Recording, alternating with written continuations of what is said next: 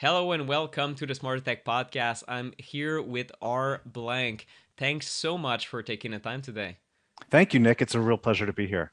So, for people people not necessarily familiar with your work, uh, please let us know um, who you are, what's your background, uh, and how you've come to create also Shield Your Body. Maybe the two minute version rather than focusing all this conversation on your bio but it's important because uh, your your father uh, martin blank phd is a was a very important emf scientist who um, was a, uh, one of the first scientists that uh, convinced me that this is an issue. So uh, please go ahead.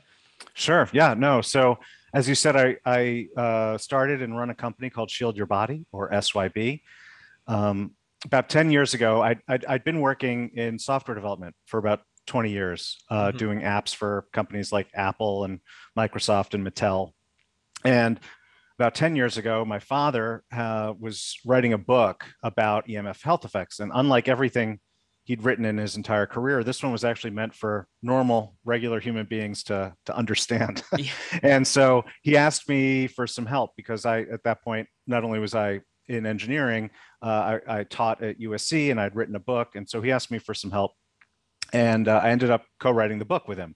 And in the course of writing that book, I, I, learned a few things. Now, obviously, you know, my father being who he was, I was always aware of the EMF issue. Uh, and I knew, for instance, never to hold a cell phone up to my head and uh, never had a microwave. And, and in uh, the rare ch- times I used one, I knew to get very far away from it and things like that. But I didn't really understand yeah. the EMF issue until writing that book. And then that was that experience really showed me just how much science uh, had to say about the health effects. You know, because when it's covered in the media, it's often you know it is are cell phones harmful and there's a debate raging and so forth and if you actually look at the science the science is very clear there's a, a very as you know uh, a very large body of uh, very convincing high quality science showing that uh, these bioeffects happen from even very, very low doses. At the same time, when you sit back and think about it, you know, you realize the sources of EMF in our lives, they, they, they aren't optional. They, they, are, they form the, the entire underpinning of modern society and the modern economy. So whereas you could ban tobacco and cigarettes tomorrow and the world would get on just fine, uh, you can't get rid of the sources of EMF. So I realized there had to be safer ways for people to use technology. And that's where the idea for what became SYB started and launched my first product in 2013. That's the, the Pocket Patch, which turns any pocket into a cell phone radiation shield. We still make and sell that.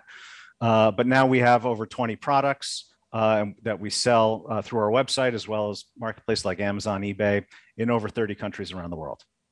That's that's incredible. And I guess my question in you started this company almost 10 years ago.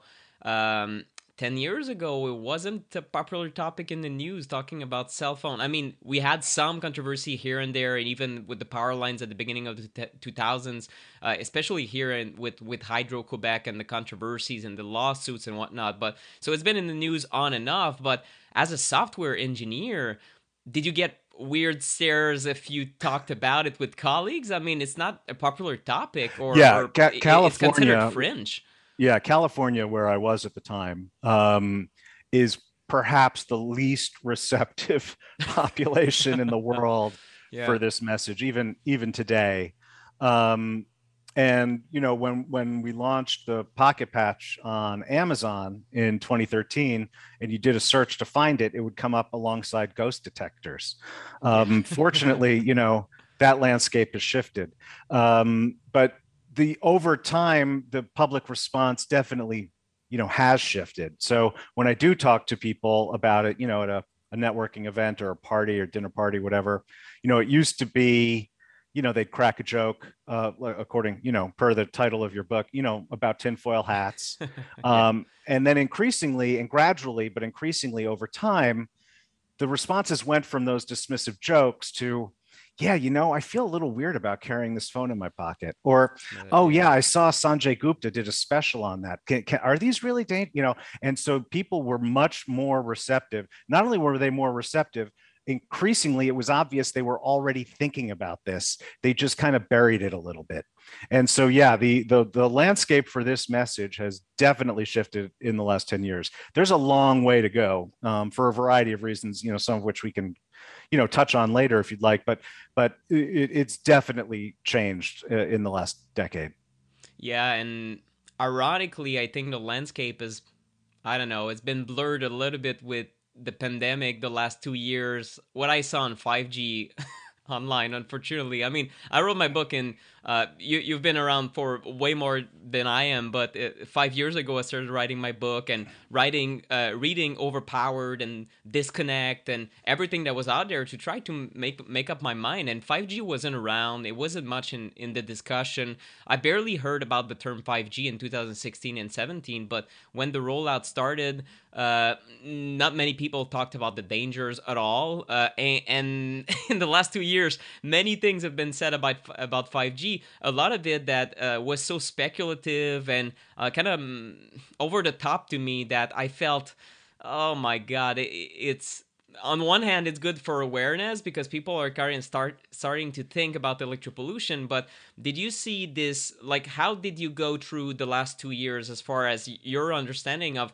how awareness has increased? What was it good that this happened, the whole thing about 5G, or was it detrimental? Because I've heard both sides from yeah, scientists I, and, and activists. I think both things can be true. There, there, yeah. it was good that there's increased awareness, um, but it's definitely harmful that there was so much misinformation. A, yeah, I agree. Because people need accurate information, but B, because when misinformation becomes so dominant, it gives the major platforms the excuse to start uh, censoring or deranking, changing yeah. policies to obscure the actual real information.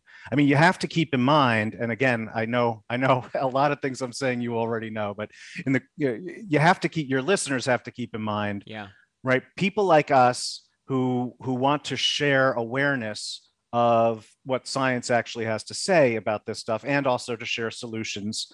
Um, you know, the way in which we share these things today in 2021, 2022, all goes through platforms that profit off of EMF exposure.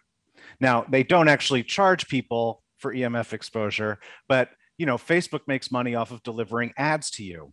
That is done through a screen. Google makes money delivering uh, search results to you. That is done through a screen increasingly these companies are making their own hardware.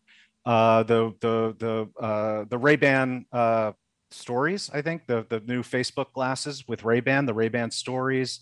Uh, Google Glass. I was actually I was actually a beta tester of Google Glass way back in the oh, day. Really? But these companies not only uh, uh, their funded their their basic business model relies on you being exposed to EMF, and then increasingly they're diversifying uh, into explicitly EMF uh, emitting technology. And so these are the companies who control the platforms through which we have to communicate, which means if you're actually interested in reaching as many people as possible, you have to be as accurate and responsible as possible in your messaging. Otherwise, you give them just the excuse to to start hiding the information. Yeah, and that's a that's a great point. That unfortunately, a lot of I, I see people that are extremely intelligent uh, PhD scientists uh, in physics, for example, who oftentimes claim, oh, there's no damage, it doesn't do anything, it's non ionizing radiation. A lot of engineers do, especially people in the industry, they seem to be caught up in this line of thinking that there's no effect whatsoever because it's very convenient to think that. So I see. I, I've contacted, you know, the heads uh, behind Li-Fi, for example, and and I said um, I want to do an interview with someone, but about the health effects.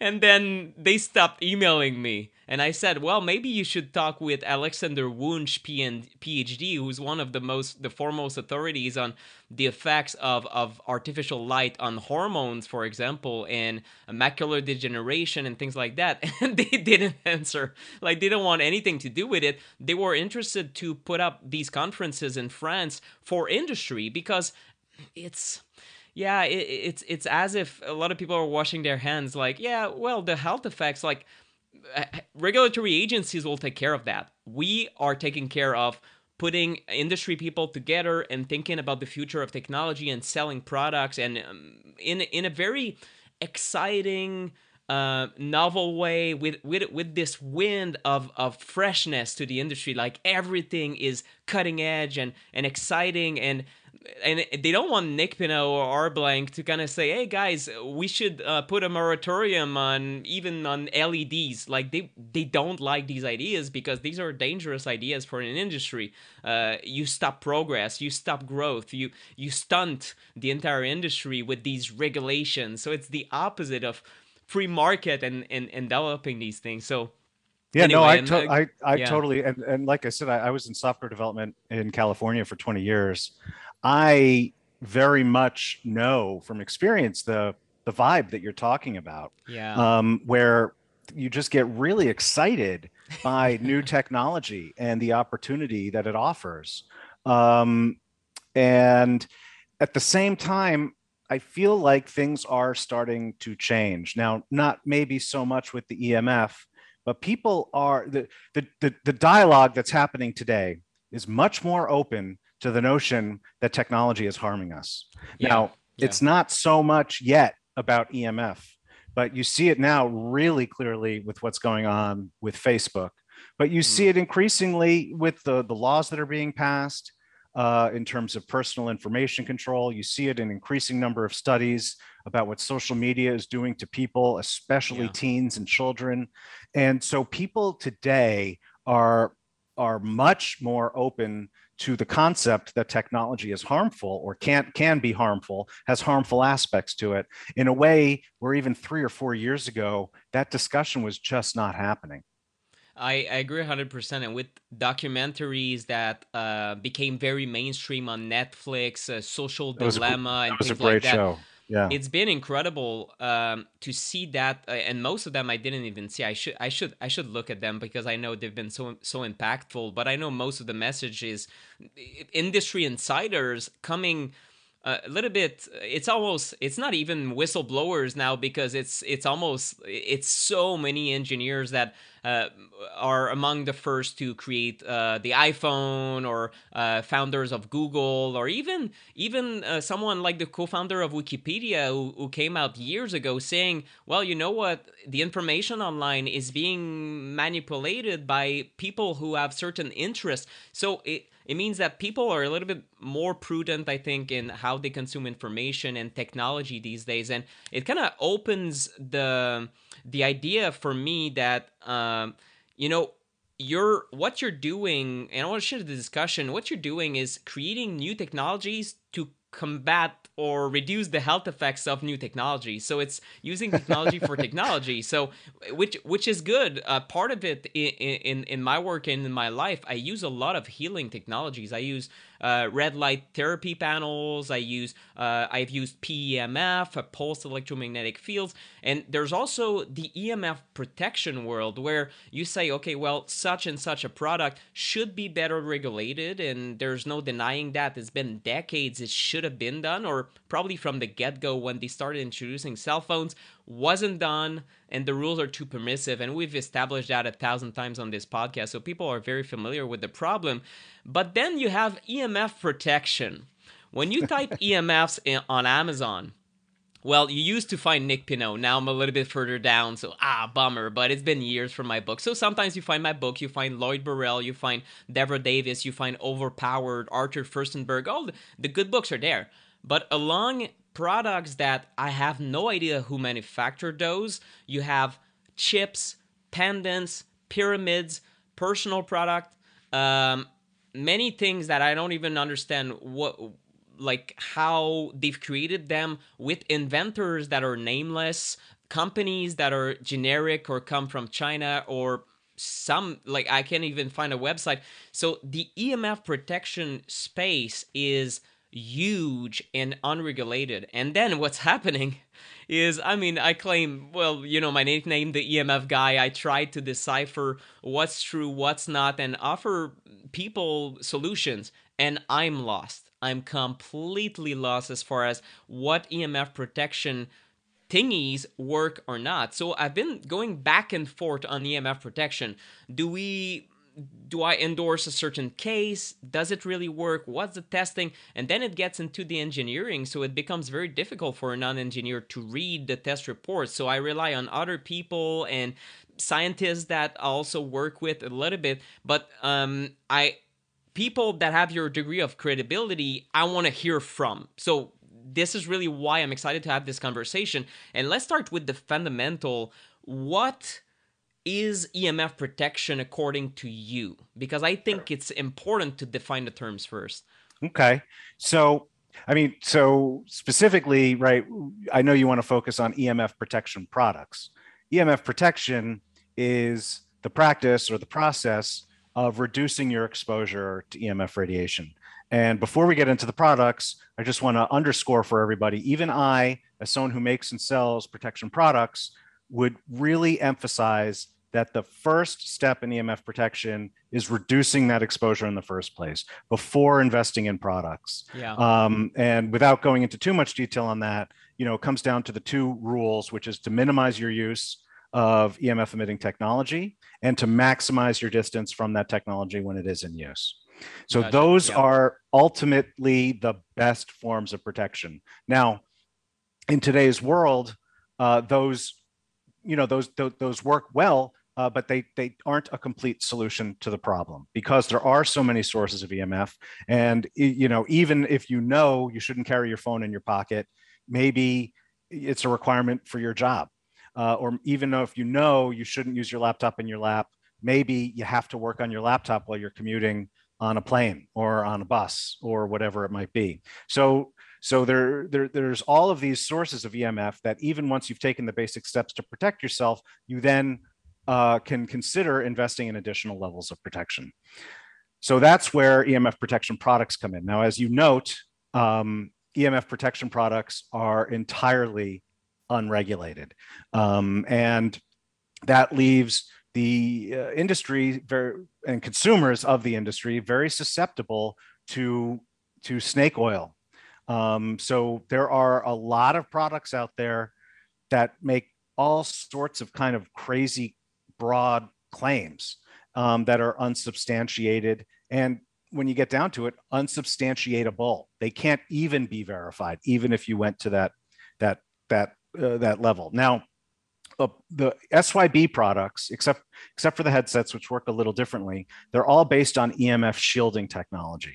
This is universally accepted technology for almost 200 years since Michael Faraday created the, the first Faraday cage.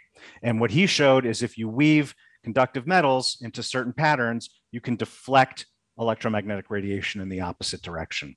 And in, in the time since then, uh, it's become possible to create those weaves, those patterns using uh, microscopic fibers, you know, thinner than the human hair. And so you can weave these shielding uh, fabrics and these shielding materials into, into products like my phone pouch or like a blanket or like underwear.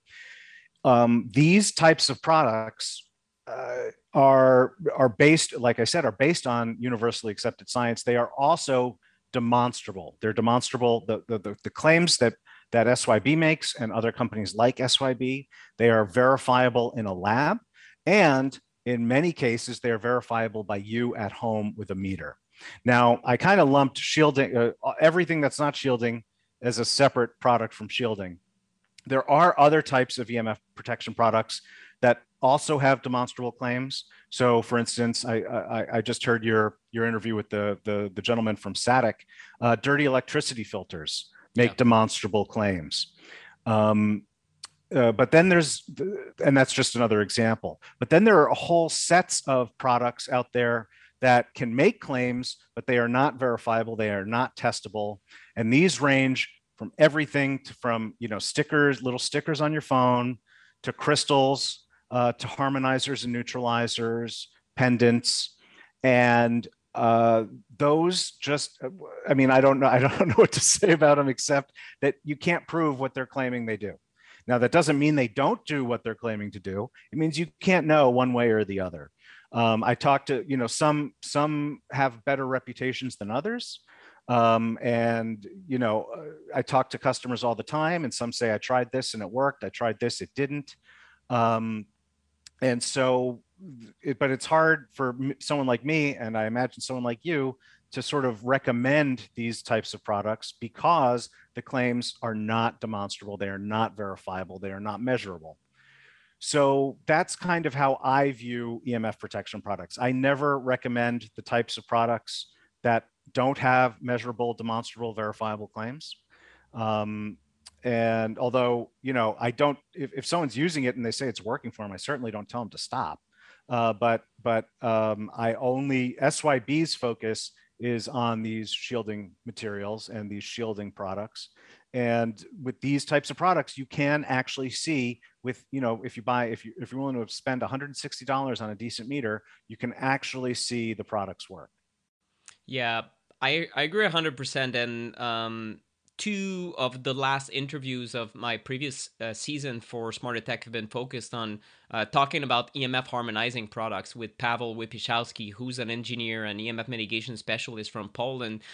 And uh, the the the idea is you you've got some demonstrable uh, effects on better HRV when you talk on the phone and various things, and they've been uh, tested at the Bion, uh, the Bion Institute or, or labs such as these, where you do have scientists that review some of the evidence and small small subject groups, so it's not necessarily statistically significant. But the problem I have with those is the marketing. Really, um, if if they said I saw some companies be a little bit cleaner in their claims, and I like that, uh, where they say, well, you you're exposed to electro pollution all the time, and this will remove a little bit of the stress related to electro pollution, uh, or you know, make you a little bit more relaxed, even in situations of eye, eye exposures. And this is probably true, and some people feel it, and especially I know from people that are extremely electrosensitive that some of these solutions have made a difference. I talked with Peter Sullivan on this podcast, who's um, a, philanthropist and also ex software engineer and electro hypersensitive that has been recovering for years and is is way better now but he can feel the difference with some technologies but he doesn't claim his protection. His main protection is having a home completely shielded um, dirty electricity filtration and he really understands these things. So i think used in a context they can be useful but saying they're protective is is where my issue is. If you have a pendant or something on your person you're not protected you're maybe you have some resilience that is additional but saying is protective i think for most consumers it means okay well i have a this this imaginary bubble that completely protects me against these effects but what kind of liability are these uh, companies exposing themselves to if they yeah. tell people to talk on the phone for hours? We know this is linked with an increase in glioblastomas, a doubling now in UK, and and and the science is kind of catching up where we're going towards a classification two way or one and when this happens, I mean, you can claim your pendant protects people, but you gotta be careful because what if people still get a brain tumor? It's anyway, it's just I, no, I'm I, I very concerned. Same, I see the same thing. The I have I share the concern, and I see the same issue playing out in the marketing materials, even for shielding companies. So companies that make uh, products like SYBs um, that have lab testing, that that have measurable claims, you know, they still show, you know, they'll, they'll use wording that makes people kind of believe that they're 100% protected They'll yeah. show models holding phones up to their head in in in the in the product photos. And I mean, if you look through all of my products, you know, all of my photos, and we have a library of tens of thousands of product photos. There's not one person holding a phone up to their head in any oh, that's good. Because that that's is good. not a use case. Yeah. You know, that is not something that anyone should ever, ever do. And um, I feel like a lot of companies in my space uh, uh, are playing fast and loose with the marketing language. I mean, when it comes to marketing, you're always playing a little bit um, to to with with people's emotions because that's what marketing is. yeah. But you have to do it in as responsible a way as possible. I mean, because you know, a company like SYB, we are selling protection, we are selling relief, but we are not selling complete protection. We are not selling complete relief. And there's a lot of education that has to go around not just how you have to use the product optimally, but other lifestyle changes that really go along with the product use uh, to really get the most protective results that, that you possibly can. Yeah, and this is this is conscious capitalism. I mean, and you're talking to someone who I've been accused of being, oh, Nick Pineault is a marketer. I saw an Amazon review the other day. Nick Pineault is not that much of an author. He's a marketer. Uh, uh, and and I mean, I have a background in copywriting. I spent years. I do online marketing. I do affiliate marketing. So sometimes I, I, I play in both worlds where I have to market my book and say, guys, this is a very urgent and an important health issue, EMF. So I write in a certain way. Yes, it raises emotions, but it's yeah it's always playing with the the scientific truth and also something that sells if you want. But and i hate it's not that i hate doing it. It's not my favorite part of but i'm i'm a, i'm a for profit guy. I'm not a nonprofit. Nonprofits can do other things. But at the same time i understand that we have to to stay scientifically accurate and then not fall into for example fear mongering that i see. I see other people in the emf space kind of selling selling products but like then say oh 5, 5g is a kill grid and i hope it doesn't get banned by youtube because like of the of the keywords but who cares? I don't i like i mean the these kind of things that to me are over the top. And and i've been talking with um, uh, people in summits and even health coaches and people that have been studying health for decades. And a lot of them are very uneasy with how um, emfs is being explained and sold in in that way. And and when they come across my work some of them tell me nick finally i can put emfs in the environmental toxin world in in my head and not like the, these marketing messages around like oh you put a cell phone to your head and you instantly die. And people are like well it doesn't make sense. Like no one is is dying instantly. So why are you saying that? Well it's it's over the top. It's to make you fearful. So this kind of messaging just doesn't doesn't work. And i don't think it's ethical. So i agree with you that other emf protection uh, companies did not get my endorsement because exactly of those claims 100% protection. And i think that the context is so important and that's something that you do differently on your videos on your website and you explain that products need to be used in a certain context.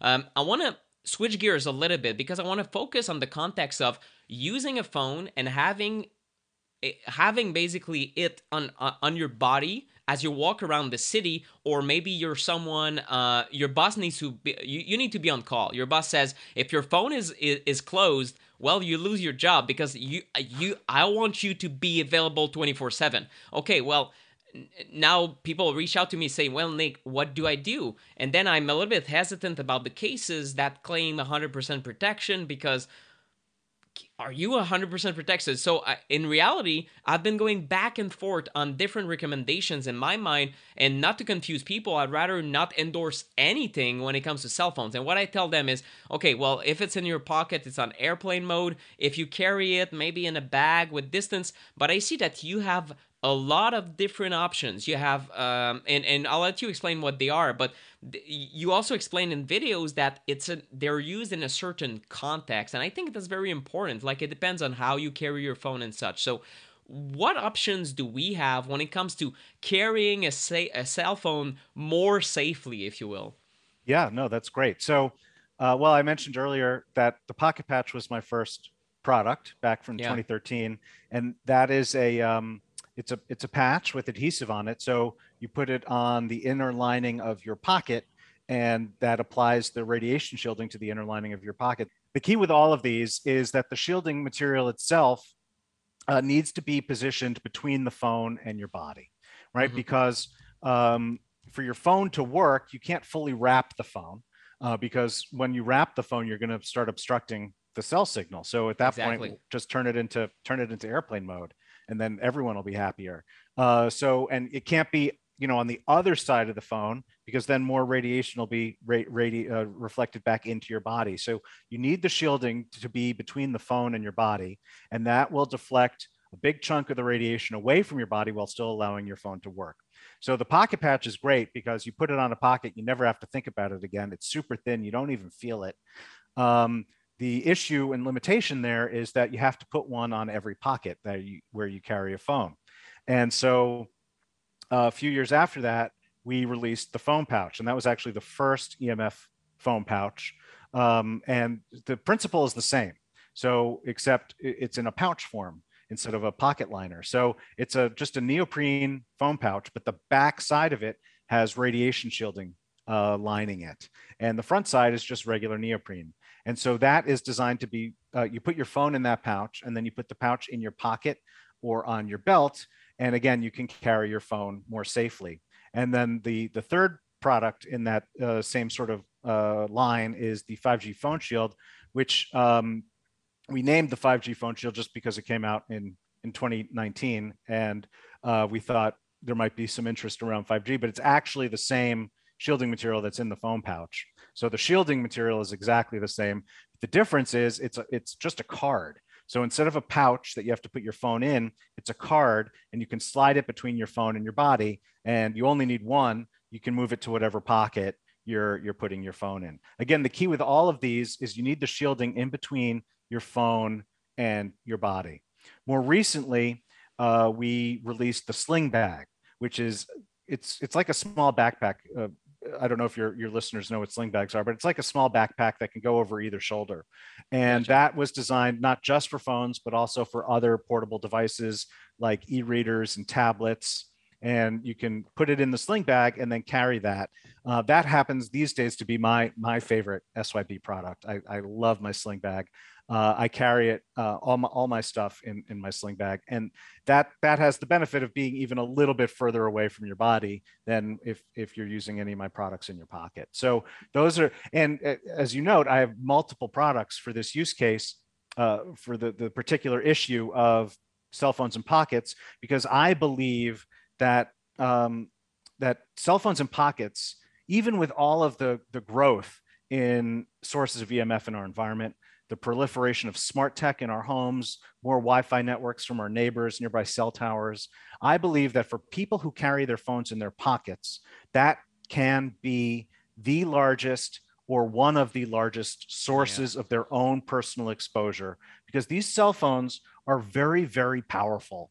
Uh, they're they're designed to be able to send signals over many miles if they have to to reach a, a tower. And when it's up against your body, uh, you are getting a full dose of what that phone has to offer. And when you're carrying it in your pocket, it tends to be for extended periods of time. So I believe that people carrying their phones in their pockets uh, is, is a huge source of individual exposures. Again, even despite the proliferation and all these sources of EMF. And that's why uh, I focused uh, so many different products on giving people options to help solve that. Now, I believe people shouldn't carry their phones in their pockets, uh, or if they do, they should put them into airplane mode. But I also, you know, I, I take a kind of a more practical perspective on this as a someone who runs a company, as someone who deals with consumers, as a marketer, right?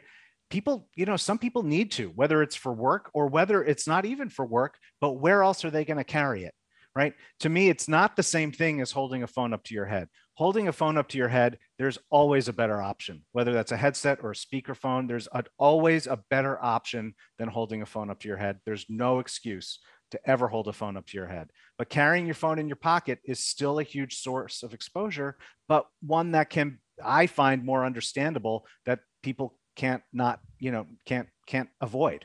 And so that's um, that's why I have all those products for it.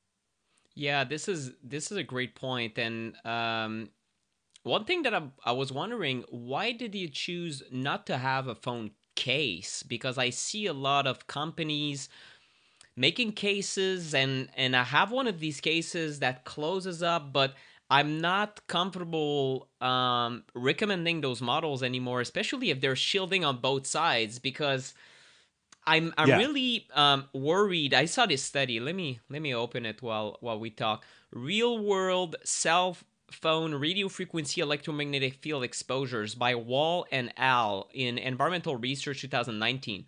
What they said is they did testing in in the real world to see how much cell phones can ramp up their signal if the connectivity is very low. For example, you're in the middle of nowhere, one uh, one or two bars out of four or five, and you have low connectivity, then uh, your phone can ramp up its power. And I'm just saying that for the audience. Obviously, you understand these things. But what they said is uh, up to 10,000 fold increase in radiation. So I'm concerned. It means that it's something that even uh, Dr. Devra Davis, if I if I recall correctly, in Disconnect, said that uh, cases had been tested by my, maybe it was Consumer Reports or another consumer group and they said, well, we don't recommend any case, even the plastic ones, because of the potential increase in radiation. So, how do you ensure that this is not a problem in your shielding solutions?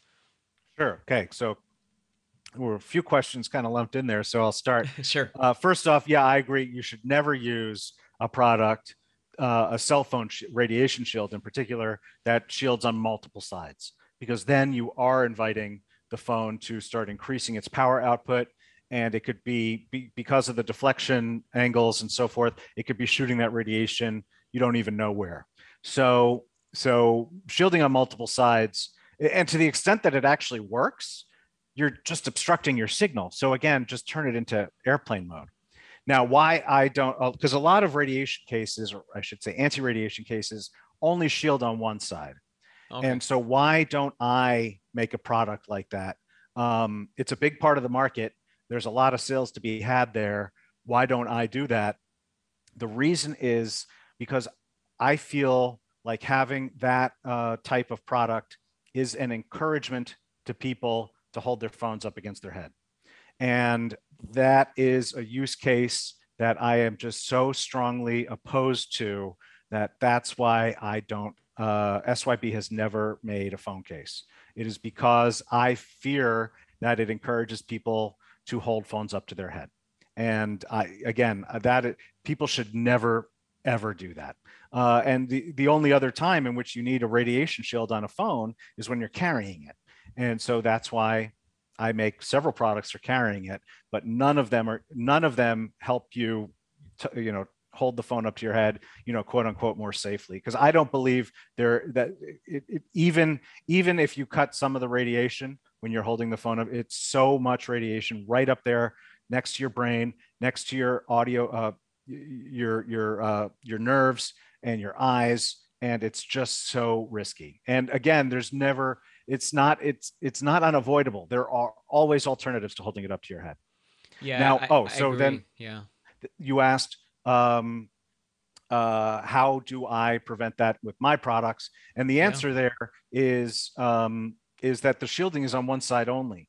Uh, and this is true for all of my electronics accessories. None of my electronics accessories are designed to surround a piece of electronics. So that's true for my, my, like I mentioned, my phone pouch or the pocket patch. It's true for my laptop pad and tablet pad. It's true for the picture frame, which is, um, it's a shield that's you know, one use case is uh, is to put it on your nightstand. So if you sleep with your phone, which is another habit that people should break, but it, a lot of people do it, you put your phone behind the picture frame and and it, it deflects the radiation away from from your head and your mm. body while you're sleeping. Uh, that's another example. It does not fully surround the product. The products that I do have that create more full shields, there are first the canopies, uh, which create a, a, real 360 by 360 enclosed Faraday cage. And then there's also apparel, which fully shield specific parts of your body. And those are areas where uh, I, I do want to cover as much as possible because those don't obstruct electronics. Those create protective spaces for you and your body. But when it comes to electronics accessories, it's very important to shield on one side only. This is well you've just convinced me. Like i was waiting I was, looking forward to this conversation because i've been completely uh, I, I've been really feeling uneasy about my recommendation around cell phone cases because I I could not get a good answer about exactly these questions, and and some of them are if you enclose the the part of the antenna, I'm always concerned that with a certain angle, depending on where you're situated vis a vis the tower, or in certain situations, you're inside in a in a in an enclosed space or a lot of concrete walls around you i'm like well are we really decreasing exposure? And that's my concern. Will i be the one saying oh yes everyone buy this product and then the it increases exposure? So just on a, on on an ethical or moral standpoint i really want to make sure that a product is um, is is sold by a manufacturer that tells you how to use it and that it's also clear how to use it. I have one of these, and I w- will not name companies. Anyway, these companies are always evolving, and uh, I'm not here to kind of anyway bash any particular companies. But when you have a flap over, the problem I have with that now that I think of it, and now that uh, after hearing your explanations around why we should shield on one side, it's never clear which, shi- which side is shielded and which is not. It's not in in fact, it's not even explained in their um, in their uh, pamphlet or anything information that comes with the product. So they don't explain unless maybe I'm, I, I missed it or even it's been years since I had it. So maybe it was there, but I tossed the entire like the little cartons and and things like that. So I I never even thought about it. I thought in my mind it was shielded on two sides. I think it's shielded on one side, but that being said, people need to know which side to use it. So if you have the phone that's completely enclosed with these flaps, you don't really think twice about it and maybe you're putting it on the wrong side. So now yeah. you have shielding that is reflecting back to you, which is a shame. In reality, it, it kind of does the opposite of what we're trying to achieve here. So um, I'm convinced, and I need to get to get the to get a pouch or, or something for my pocket. It is very rare that I use my phone in a, in a pocket. I could take a call from time to time. Usually, I just try to avoid those or uh, use a speakerphone or something like that. But I agree that um, just just to comment on what you said previously phone on the head we know this is the most dangerous use of phones. At least the science is the strongest when it comes to maybe it can be acoustic neuromas that can lead to complications including death uh, or loss of hearing or neural function even even the parotid glands or, or thyroid cancers could be fatal also but the glioblastomas are really something not not to be messed with but then my concern is is this data that I keep hearing from scientists about the increase in uh, uh, cancers of the groin area, ovarian cancer, um, uh, uh, testicular cancer, prostate cancer, and in the youth. So makes and, you wonder. And colorectal. Um, colorectal also, and geez, I'm I'm very concerned that we're we've just shifted the problem most most young people these days if you call them they feel weird, weirded out. Like oh why are you calling me? You should text me right? Or you should you know like it's almost a, a, a running gag in in people like 30 and younger even my generation like i'm i'm 34 like oh you're calling me? Like people are like oh my god i haven't called someone in years. But now the problem is shifting. It's phone in the pocket uh, streaming Spotify or, or, or or podcasts and with very high intensity, right? Because the streaming mm-hmm. services are always going, going, going. But now we're not talking about using the phone on the ear 30 minutes per day as a defined as a heavy user in science, which is nonsensical in itself. But uh, we're talking about sometimes 15 hours per day. So it's also mm-hmm. the time of use in the pocket that is tremendous. So I agree with you um, in in your statement that probably this is the highest level of exposure, and I would be um, interested to see a scientific study uh, with with a, a kind of dosimeter or or something like that to see where is the strongest exposure coming from in, in and in age ranges because i think the younger you are the most likely you are to maybe not talk on the ear but just move the problem away to another organ which is if it's bad here do you think it's bad there on the pocket well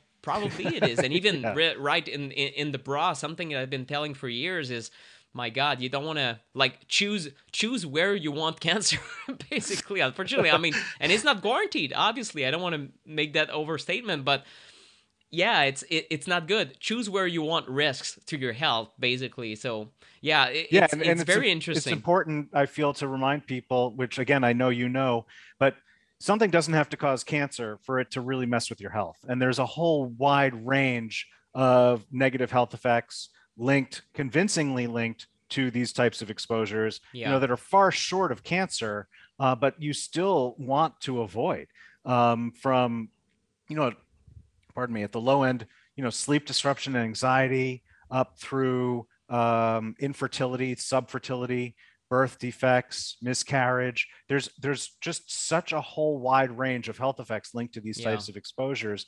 Cancer obviously gets a lot of the attention because it is such a terrifying condition. Um, but the, the, the basically EMF, and again, I know you know this, but it, it any system that you measure, you see that EMF affects that system, and it does something doesn't have to cause cancer for uh, for you for it to be causing a lot of damage to your body. I agree 100%. And um, I'm glad that we tackled the cell phone issue. So, what I'm, and let me know if I, I my summary is good. My understanding right now is, uh, of course, don't use it on the head if, or, or just in extreme emergencies, but it shouldn't, it should not be something. And I've been telling that to my dad. And if he's listening, he's still not listening to me. He's a realtor. My, my uh, brother also, and they're both still using it on the air and on the head. And I see them though, they started like talking like this. So they kind of think about it. And it's true that at 270 meters, it's good that they're doing that, but just change your habits, guys. Anyway, so if you're having it in the pocket, shielding one side, so the shield near your body and the phone reflecting away from you, right? So that's, is that correct? Yes? yes. Okay. So now in part two of this interview, we're gonna dive into the wired earbuds and when you create that distance can it can we have a problem with the cell phone signal going up the wire that's something i've been hearing for years it was in my book and i'm still not convinced so we're going to dive into part two uh, and in, in the meantime you can visit shieldyourbody.com that's the right url is that correct Mm-hmm. Shieldyourbody.com. Okay. Yep. Well, thank you. I'm going to see you in part two. And uh, people just listening to this as it comes out, it's going to come out in two weeks. So stay tuned for that. Uh, R, thank you so much for this conversation. Thank you. It's been a great pleasure.